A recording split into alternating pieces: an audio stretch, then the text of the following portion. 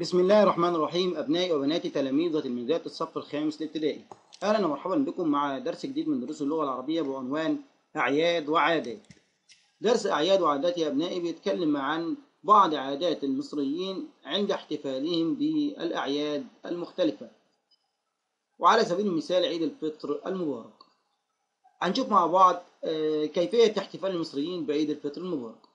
تستعد الأسرة المصرية قبل الأعياد بإعداد الأطعمة والأشربة وشراء الملابس الجديدة. والكعك أهم مظهر من مظاهر الاحتفال بالعيد عند المصريين منذ القدم حيث تمتد جذور هذه العادة إلى أجدادنا الفراعين فقد كانوا يصنعونه في الأعياد ويطلقون عليه القرص وينقشونه بصورة الشمس كما نراه الآن.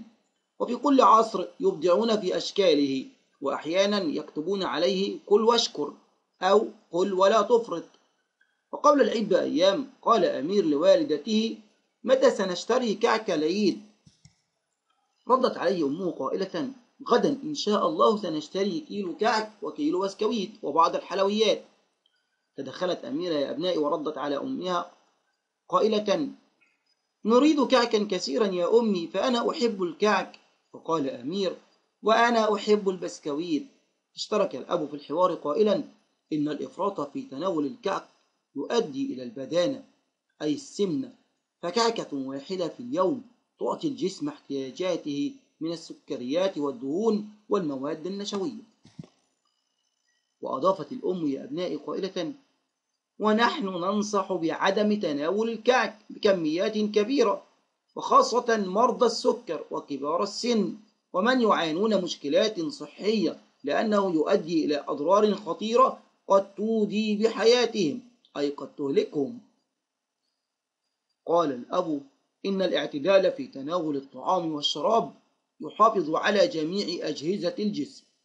قال تعالى وكلوا واشربوا ولا تسرفوا إنه لا يحب المسرفين. صدق الله العظيم. كما أن امتلاء المعدة بالطعام يؤدي إلى كثير من الأمراض. هذا بالإضافة إلى أن الإسراف في كل شيء صفة مرزولة أي صفة سيئة يا أبنائي. وعلينا بالتوسط أي الاعتدال وعدم الإسراف. هتف الأب قائلا ينبغي ألا ينسينا الاحتفال بالعيد الفقراء والمساكين. ونطعمهم مما نطعم ونلبسهم مما نلبس حتى يفرحوا معنا بالعيد.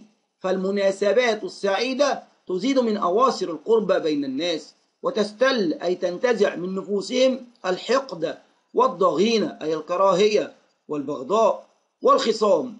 إن للمصريين عادات كثيرة ينبغي أن نفكر فيها فنأخذ منها ما يفيدنا ويفيد مجتمعنا.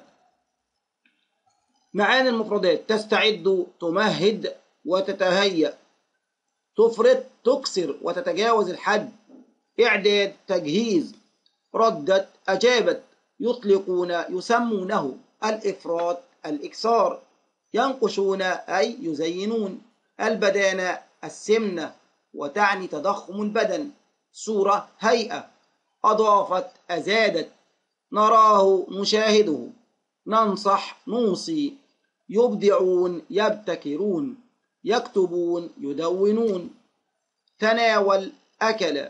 أواصر روابط. تعطي تمد الضغين الحقد والكراهية. يعانون يقاسون تستل تذهب به أو تخفي. تودي بمعنى تنهي حياته أو تهلكه. تمتد تصل. مرزولة مذمومة. الاعتدال التوسط. وكده يا أبنائي نكون انتهى درس اليوم. شكرا لكم وعلى أمل بموعد جديد إن شاء الله مع درس جديد من دروس اللغة العربية. والسلام الله عليكم ورحمته وبركاته.